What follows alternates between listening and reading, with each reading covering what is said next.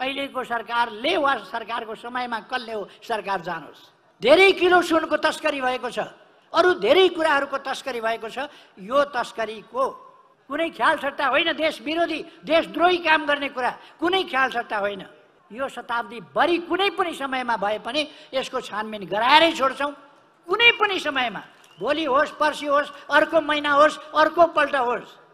जति ढिलो हुन्छ त्यति गाह्रो पर्नेछ।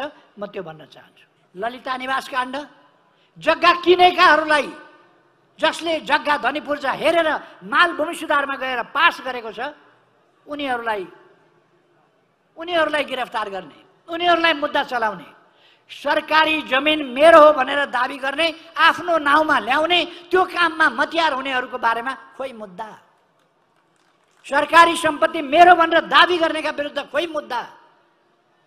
सरकारी सम्पत्ति जानी जानिकन अर्काको नाउँमा उसकै हो भनेर कायम गरिदिने गराइदिने नेता कर्मचारीहरूमाथि खोइ मुद्दा।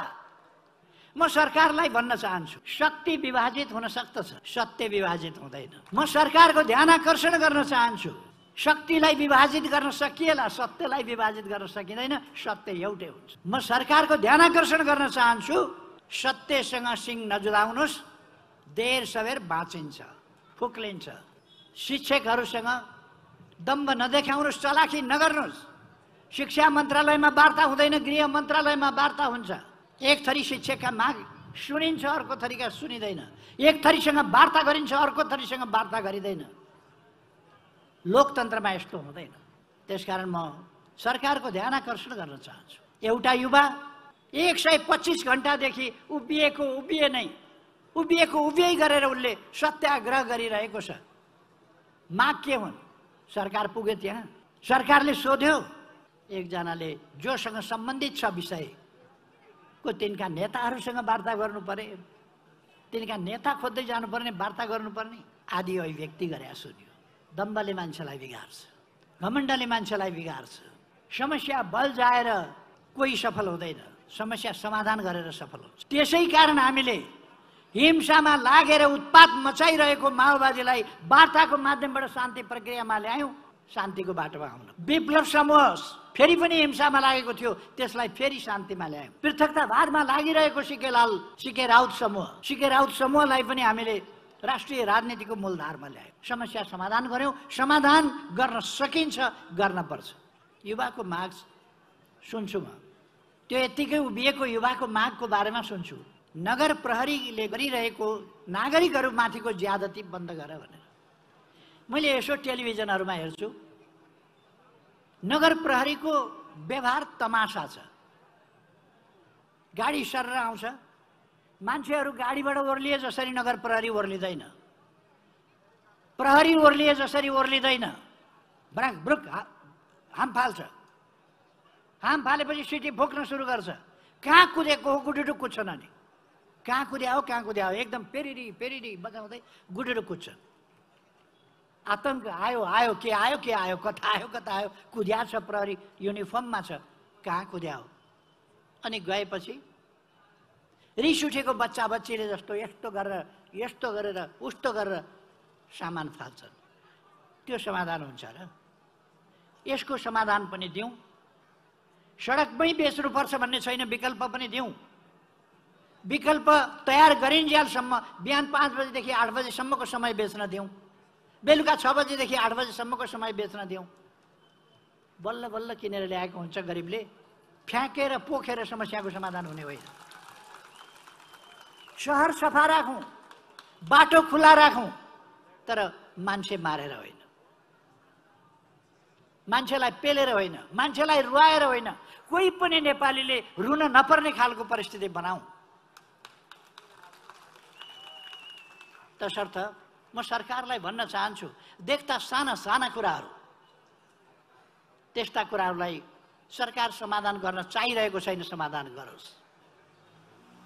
हुन त यो सरकारसँग कुनै सुझाव दिनु केही आग्रह गर्नु बेकार छ। यो सरकार जनताका समस्यातिर भोकमारीतिर महँगी बढिरहेकोतिर उद्योग धन्दा बन्द भइरहेकोतिर व्यापारीहरू निराश र बन्द गरेर उद्योगहरू बन्द गरेर कारोबार बन्द गरेर दसैँ लाग्न आँटो रोडका पसलहरू बन्द छन् बन्द गरेर हिँड्नुपर्ने अवस्थामा छ सरकारलाई कुनै चिन्ता छैन सरकार दङ्ग छ सरकार समर्थकहरू दङ्ग छन्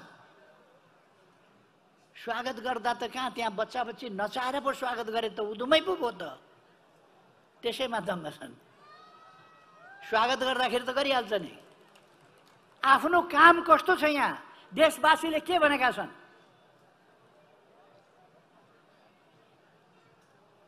देशका उद्यमीहरू के भन्दैछन्? व्यवसायीहरू के भन्दैछन्? निर्माण व्यवसायीहरू के भन्दैछन्? अरू हार्डवेयर व्यवसायीहरू के भन्दैछन्? उद्योगपतिहरू के भन्दैछन्? उद्यमीहरू के भन्दैछन्? व्यापारीहरू के भन्दैछन्?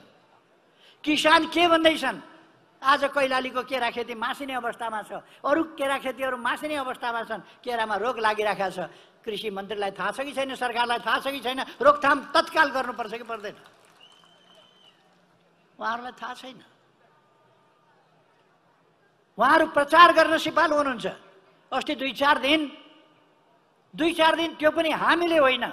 हामी संसद चलाउँ भन्छौँ। हामीलाई बोल्न पनि नदिएर उहाँहरू उठेर संसद अवरोध गर्नुहुन्छ। एमाले संसद रोक्यो भन्नुहुन्छ।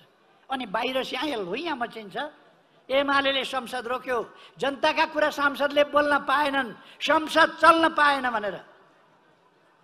अनि अवरोध भने कुरै सिद्धिएपछि पनि अहिले संसद किन चल्या छैन त? कहाँ चल्या छ?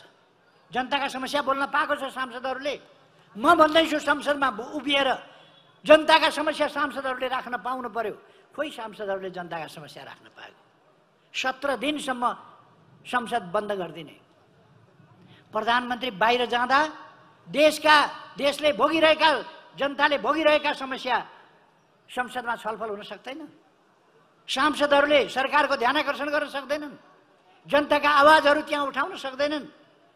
सत्र दिनसम्म बन्द गर्नुपर्छ। भारतका प्रधानमन्त्रीजी कति बाहिर गइरहनुहुन्छ? उहाँ बाहिर निस्किएपछि संसदमा ताला बन्द हुन्छ? ताला लाग्छ। हाम्रोमा प्रधानमन्त्री बाहिर जाने भनेपछि ताला बन्द गर्ने आदेश दिएर जानुहुन्छ। सत्र दिनसम्म। त्योभन्दा अगाडि एक्काइसबाट उन्तिस गते किन पुर्याउनुहुन्छ संसद? किन त्यति लामो समय ग्याप राख्नुहुन्छ? उहाँहरूलाई जनताका आवाज सांसदहरूले बोल्छन् भन्ने पेर छ। आज उद्योग व्यवसायमाथि हमला भएको छ। उनीहरू ऋण तिर्न सकिरहेका छैनन्। र ब्याङ्कले ब्याङ्कले निर्मम साहुले जसरी व्यवहार गरिरहेको छ। ब्याज दरको मात्रै कुरा होइन। अर्थतन्त्र अप्ठ्यारोमा छ। सरकारले व्यवसायीहरूका कामको भुक्तानी दिएको छैन। भुक्तानी नदिएपछि उनीहरूले साउ ब्याज तिर्न सकेनन्। कालो सूचीमा व्यवसायी पर्छ। कालो सूचीमा पार्ने काम सरकारले गर्छ। भुक्तानी दिँदैन कालो सूचीमा पर्ने काम गर्छ। भुक्तानी नदिएपछि कहाँबाट तिर्छ व्यवसायीले? तसर्थ अवस्था अत्यन्त गम्भीर छ। बाहिरबाट आएको अलिकति रेमिटेन्सले डलर बचेको छ भन्ने कुराले। आयात छैन मेसिन किनिँदैन उद्योग चलेका छैनन्। चाहिने कुरा केही आयात भएको छैन। त्यसो भएर केही मुद्रा सञ्चित भएको होला। निष्क्रिय भएर मुद्रा बसेको छ। तर काम केही पनि हुन सकेको छैन। यो धेरै असहज र अप्ठ्यारो स्थिति हो। अहिले अस्ति हाम्रो एक महिनासम्म हामीले सङ्घर्ष गरेर सुन तस्करीको छानबिन गर्नुपर्छ व्यापक छानबिन गर्नुपर्छ भन्यो सरकार मानेन। एक महिनापछि बल्ल आयोग बनाउन मान्यो त्यसको एक महिनापछि मात्रै आयोग बनाउने र काम सुरु गर्ने भन्यो। किन एक महिना पर्खिनु पर्यो? किन एक महिना पर्खिनु पर्यो भने सरकार विलम्ब गर्न किन चाहन्छ ढिलढा ढाला गर्न किन चाहन्छ भने एयरपोर्टमा पक्रिनु पर्ने सुन पक्रिएन। त्यहाँबाट उम्किएपछि गोदाममा पिछा गरेर गएर समाउनु पर्थ्यो बिचैमा समात्यो। गोदाम देखिन्छ भनेर ती मान्छेहरू ट्याक्सी ड्राइभर सुन लिन गएकाहरू र मेरो सुन भनेर दाबी गरेर बुझेर ल्याउने मान्छे बाटामा पक्राउ पर्छन् र उनीहरूलाई राजस्व अनुसन्धानमा पुर्याएर सय किलो सुन तस्करी गर्ने तस्करलाई चाहिएका बेला हाजिर हुन्छु भन्ने एक लाइनको कागज गराएर छोडिन्छ र सामान सबै लुकाउन लगाइन्छ मान्छे भगाउन लगाइन्छ पर्सिपल्ट खोज्न जान्छ। तिन दिनपछि तिन दिनपछि खोज्न जाँदा एक सय पैँसठीवटा रित्ता बाक्सा भेटिन्छन् सामान भेटिँदैन किनभने सरकारले पहिले नै लुकाउन लगाइसकेको छ। हो यसै कारण उसलाई समय एक महिनाको चाहिएको। अब सरकार छानबिन गर्न हुँदैन भनिराखेको छ। छानबिन गर्न हुँदैन। पछि भविष्यमा कस्तो कानुन ल्याउने भन्ने सिफारिस गरोस् आयोगले छानबिन गर्न पाइँदैन भनेर। छानबिन गर्न किन पाइँदैन? सय किलो सुन। तपाईँ हामीले एक महिनाभन्दा बढी समय सय किलो सुन कि सय किलो सुन सुन्यौँ पनि पढ्यौँ पनि। एक महिनापछि एकसट्ठी किलो भन्नेमा झऱ्यो। एक उन्चालिस किलो चाहिँ कहाँ गयो? साढे नौ नौ किलो। न त्यो बिजुली सिगरेट भनेर। त्यस नाउँमा आएको भनेको त्यो सुनको कारवाही के भयो? दुई सय चौरानब्बे पल्ट भएका टेलिफोन वार्ता कुदेर पटक पटक एयरपोर्ट गएका साँठगाँठ कहाँ गए? छ वर्ष अगाडिदेखि दुई हजार चौहत्तर सालदेखि नागरिकता दिइदिइकन तयार गरिएको रहेछ नि मान्छे त। तस्कर त तयार गरिएको रहेछ नि नागरिकता दिइदिइकन। ती मान्छे को हुन्? यो सुन काण्डका पछाडि भरिया समातेर हुँदैन। यत्रो कारोबार गर्ने व्यापारी को हो? त्यो व्यापारी समाउनु पर्दैन। को हो? यसमा लगानी गर्ने अरबौँको लगानी गर्ने को हो? एलसी खोलेर ल्याएको होइन। काला बजारीबाट पैसा पठाएर कसले सुन किनेर ल्यायो त? तस्करी गरेर। सरकारलाई मैले बोलेको नराम्रो लाग्छ। किन खोजिदिएको होला? यी सबै प्रश्न किन उठाएको होला? किन खोजेको होला? एक ठाउँबाट दिनको एक सय किलो त पक्राउ पर्या हो। त्यति जाबोमा किन कराउनु पर्या होला? उहाँहरूलाई लागेको छ। अब मैले यो बोलिसकेपछि उहाँहरू एमाले तर्फ अनेक प्रकारका आरोपहरूसहित औँला ठड्याउन खोज्नुहुन्छ। म चुनौतीका साथ भन्छु। एमाले तर्फ औँडा ठड्याउने होइन अस्ति। गिरिबन्धु टी स्टेटको फाइल खोल्छु भनेर प्रधानमन्त्रीले भन्नुभयो। मैले भने फाइल खोल्नुहोस् गठबन्धनका को को जानुहोस् जेल जानुहोस्। नेकपा एमाले कुनै फाइल खोले पनि केही गरे पनि नेकपा एमालेलाई त्यो फाइलसँग कुनै त्रास होइन। फाइल खोल भन्छ नेकपा एमाले सरकारलाई। फाइल खोल कारवाही गर। सय किलो सुन एकसठी कसरी भयो? म सरकारलाई सोध्न चाहन्छु सरकारसँग राष्ट्र ब्याङ्कमा एउटा सुन पगाल्ने मेसिन छ। त्योभन्दा बढी शक्तिशाली पाँचवटा सुन पगाल्ने मेसिन तस्करहरूसँग कसरी भयो? कसरी भयो? अनि अर्काले देखाइदिएपछि देखाइदिएपछि जाने। यहाँ पनि छ त्यहाँ पनि छ भनेपछि मात्रै जाने। सरकारको अनुसन्धानका कामहरू गर्ने निकायहरू छैन। किन गर्दैन? यी सबै अरूले देखाएपछि बाध्य भएर गरिएका कामहरू। अनि अहिले आयोग बनाउने तर छानबिन नगर्ने आयोग छानबिन नगर्ने आयोग किन चाहियो? कानुन संशोधनका लागि सुझाव दिने कानुन सुधार सुझाव आयोग छँदैछ किन चाहियो यो आयोग?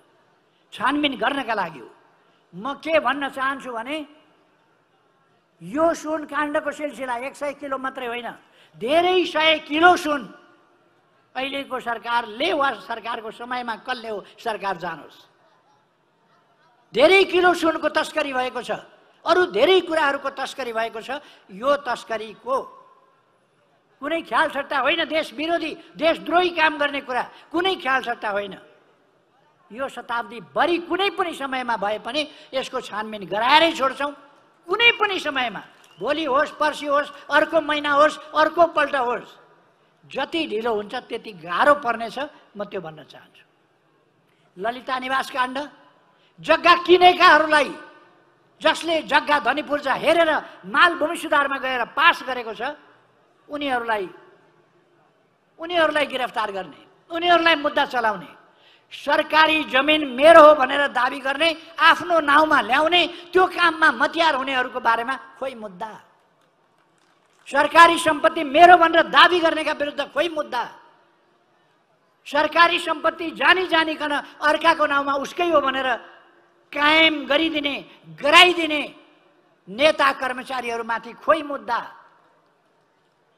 अनि जसले जग्गा किन त्यसमाथि मुद्दा लगाएर तमासा गरेर अनि चोखा क्रान्तिकारी हुने? तसर्थ यस्तो सरकार छ।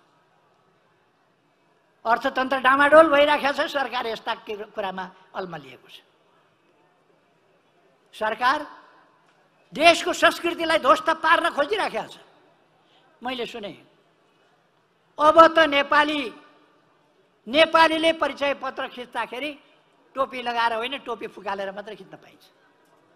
नेपालीको टोपी फुकालेर परिचय पत्र बनाउनु पर्ने हाम्रा दिदीबहिनीहरूले सिन्दुर पुछेर पखालेर पोते खोलेर अनि फोटो खिच्नु पर्ने। हाम्रो संस्कृति अनुसार सिन्दुर पोते भनेको श्रीमानको अवसान हुँदाखेरि त्यहाँ मात्रै खोलेर समर्पण गरिन्छ नत्र भने खोलिँदैन। अनि सिन्दुर सिन्दुर पो धुनु पर्ने पखाल्नु पर्ने हाम्रो संस्कृतिले मिल्दैन। के सरकार छ यो? यो तल तल कर्मचारीले गरे हुनसक्छ। म माथि मन्त्रालयलाई भन्न चाहन्छु सरकारलाई भन्न चाहन्छु। पन्जाबीले पगडी खोल्नु पर्दैन। कुनै फोटो खिच्दा परिचय पत्र नागरिकता अथवा पासपोर्ट बनाउँदा कहीँ पनि पन्जाबीले पगडी खोल्नु पर्दैन। यो मेरो राष्ट्रिय पहिचान हो भन्छ। हाम्रो सांस्कृतिक पहिचान आज पहिचान पहिचान भनेर लड्नेहरू यस्ता विषयमा नलड्ने भाँड भैलो मसाउने विषयमा चाहिँ लड्ने सिन्दुर पोते हाम्रो पहिचान हो। ढाका टोपी कालो टोपी टोपी हाम्रो पहिचान हो। लाउन मन नलाग्ने नलाउन सक्छ लाउन मन लाग्ने लाउन सक्छ। अब सिन्दुर पोते सिन्दुर पखालेर पोते फुकालेर नेपाली महिलाको परिचय विवाहित महिलाको परिचय खोज्ने। यो संस्कृति विरोधी कुरा हो। त्यस कारण म सरकारको ध्यान आकर्षण गर्न चाहन्छु। यस्ता थुप्रै कुराहरू छन्। थुप्रै कुराहरू।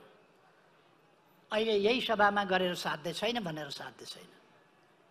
यो सरकार जति नालायक सरकार निकम्मा सरकार देशलाई कुनै फाइदा नभएको नोक्सानै नोक्सान पार्ने सरकार थिति होइन व्यतिथिको सम्भाग सरकार यसले कुनै क्षति बसाउन सक्दैन। कानुनको राज होइन। मन परी तन्त्र बनाउँछ।